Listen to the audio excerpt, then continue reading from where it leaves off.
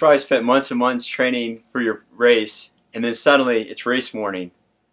You're at the start, you're looking around at all the other triathletes in your swim wave, waiting for the gun to go off, and wondering, how am I going to get through this? Hi, my name is David Glover, and I'd like to share with you some of the tips and strategies that I've picked up over the years, both as an athlete and as a coach, to help you have a, a successful race. So once the gun goes off, here's a few key things to remember. First, stay in the moment. By this I mean just focus on what you can do right now. So if you're at the start and the gun goes off, just focus on starting out at a steady pace, not too fast, and getting to that first buoy. Once you get to that first buoy, try and get to the second buoy, and so on. It doesn't really do you much good to worry about the bike and the run when you're at the start of the swim. So focus on what you can do in the moment.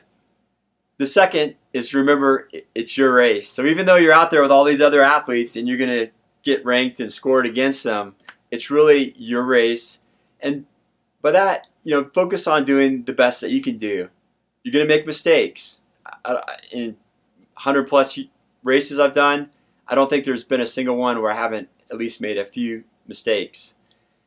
You may forget a gel, you may go out too fast, you may drop something in transition, stuff happens. Just do the best you can and move on. Remember, it's your race. And finally, be aware of ebb and flow. And ebb and flow refers to tides kind of coming and going. And by that I mean you're going to have highs and lows during your race. So there'll be one moment you might feel great on top of the world, another moment you might feel really bad. And it, it, it varies. It, some races you may feel more good, some you may feel more, more bad. But just be aware that you're going to have those harder moments. And then that's really where you have to kind of dig a little bit deeper and just keep going.